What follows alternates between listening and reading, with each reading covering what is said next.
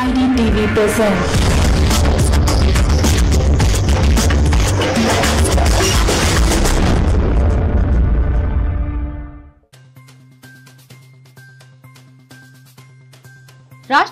रामनाथ कोविंद उपराष्ट्रपति एम वेंकैया नायडू और प्रधानमंत्री नरेंद्र मोदी ने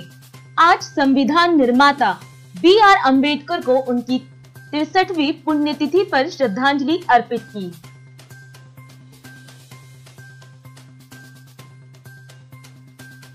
हैदराबाद में रेप के आरोपियों को एनकाउंटर में मार गिराए जाने के बाद हर तरफ पुलिस की तारीफ हो रही है हैदराबाद पुलिस का हर तरफ अभिनंदन किया जा रहा है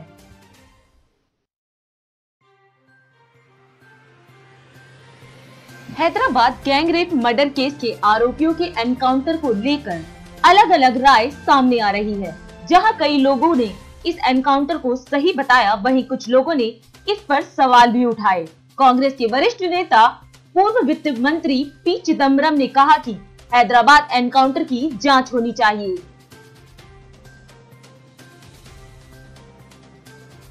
एचआरडी मंत्रालय के एक वरिष्ठ अधिकारी ने ट्वीट कर कहा कि दिल्ली यूनिवर्सिटी में एडहॉक टीचर्स को अगले एकेडमिक सेशन के शुरू होने तक नहीं हटाया जाएगा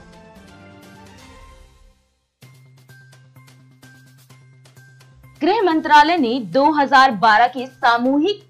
बलात्कार के दोषी विनय शर्मा की दया याचिका की फाइल राष्ट्रपति रामनाथ कोविंद को भेज दी है गृह मंत्रालय ने राष्ट्रपति से दया याचिका को खारिज करने की सिफारिश की है ग्रेटर नोएडा में करीब दो साल पहले कार बेचने वाली महिला ने खरीदार पर कार ऑनरशिप ट्रांसफर नहीं कराने और चलान कटने पर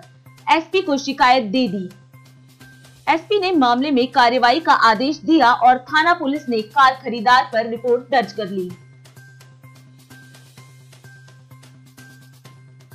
राष्ट्रपति रामनाथ कोविंद ने कहा कि पॉस्को एक्ट के अंतर्गत सजा पाने वाले व्यक्तियों के लिए दया याचिका का प्रावधान नहीं होना चाहिए उन्होंने कहा इस बारे में संसद को विचार करना चाहिए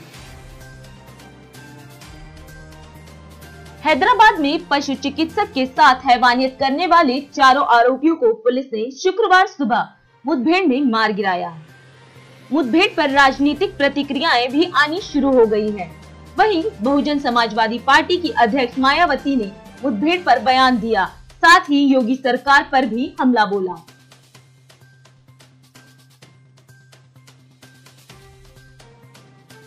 दिल्ली की एक हजार सात सौ इकतीस अनधिकृत कॉलोनियों में रहने वाले 40 लाख से अधिक लोगों को उनके घरों का मालिकाना हक दिलाने वाले कानून के संसद में पास होने के बाद प्रधानमंत्री नरेंद्र मोदी को धन्यवाद देने के लिए दिल्ली बीजेपी ने गुरुवार को बाहरी दिल्ली के नजफगढ़ इलाके में जनसभा का आयोजन किया हैदराबाद दुष्कर्म मामले में आज सुबह चारों आरोपियों की पुलिस एनकाउंटर में मौत हो गई। इस क्रम में दिल्ली के मुख्यमंत्री अरविंद केजरीवाल ने कहा कि चाहे उन्नाव दुष्कर्म मामला हो या फिर हैदराबाद दुष्कर्म मामला लेकिन यह दोनों मामले काफी देरी से सामने आए इसलिए लोगों का गुस्सा इस बार बढ़ने लगा यही वजह है कि इस एनकाउंटर पर सभी लोग अपनी खुशी बयां कर रहे हैं ये है डीआईडी में खबरें अब तक इंतजार कीजिए कल तक